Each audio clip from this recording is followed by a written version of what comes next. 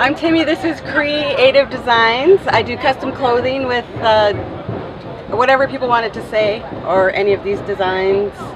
And you kind of do it up yourself. Hoodies, t-shirts, baby clothes, up to 3X. And I come to Stampede every year to hang out with my friend Connie and see all the same customers that I've had year after year. And it's just a fun event. Um, I usually stay in Canada, but I come to this one and I do one in Wellpinit. But I do a lot of events in uh, Alberta and Saskatchewan too. So all over the place.